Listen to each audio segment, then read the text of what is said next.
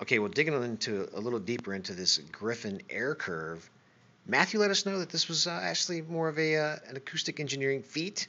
So, so hey, to test drive one of these things to make sure that they're suitable for bar camp door prizes, we pop this baby open, and here's what here's what's inside this uh, this air curve, this this engineered uh, engineering plastic here, put together with uh, looks like some kind of a cavity there.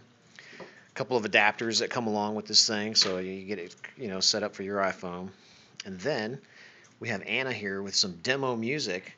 What is this? Folsom Prison? Was it? Yep. Folsom Prison Blue. Okay.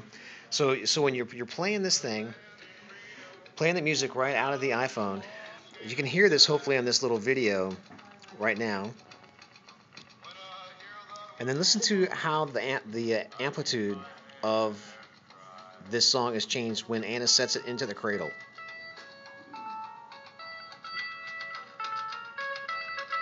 That's amazing. All right, take it out again.